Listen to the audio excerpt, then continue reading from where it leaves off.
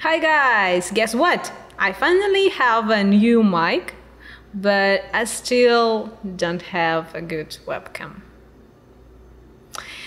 Alright, so today I'm going to show you how to track two or more faces. Let's go. Alright, so first of all, let's go ahead and add object, add, and add a face mesh. Uh, well, of course, you need to add a face tracker and a face mesh, but you know, when you first add a face mesh, the face tracker is added automatically. And so this is face tracker and the face mesh for the first person. And we need to create uh, another face tracker and another face mesh. Put this face, face mesh on the face tracker and when you click on the face tracker zero here and go to this panel, uh, you see tracked face, face one. And when you click on the face tracker one, tracked face, face two. All right, and let me add another face tracker, another face mesh, and just and yeah and we can for example we can track uh, the third face.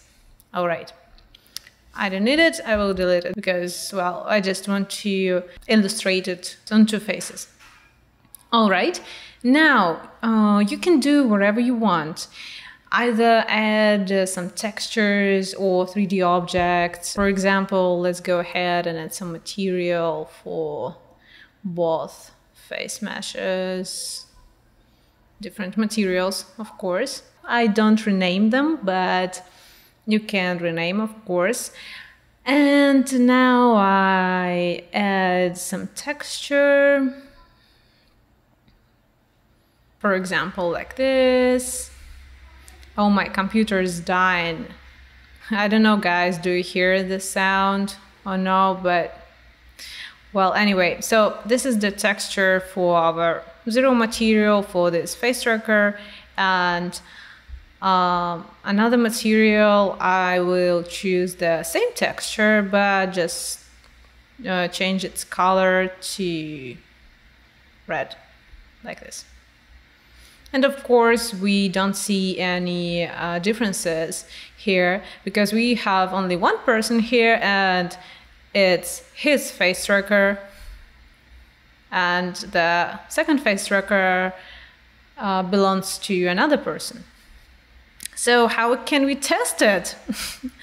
um, of course, if you are not a lonely person and you have someone who can test it with you, you can simply click here, integrate integrated webcam and test it. But unfortunately, my husband doesn't want to test it with me, so I'm going ahead and export this project and uh, test it in Spark AR Hub on my mobile phone. All right, let's go and test it. So, okay, that's not me, that's not my son, that's not my mother, it's just some kind of celebrity from web. I don't know. I just, you know, downloaded this picture just for testing. And you see that uh, they have two faces, and two faces are tracked, even this one's. Oh, this this is cute. I think that's that's it. And yeah, it works. So, and uh, as I told you before, you can do whatever you want. You can do something with this face tracker, add 3D objects, add makeup, add particles add GIF animation. And then simply right click on it and duplicate.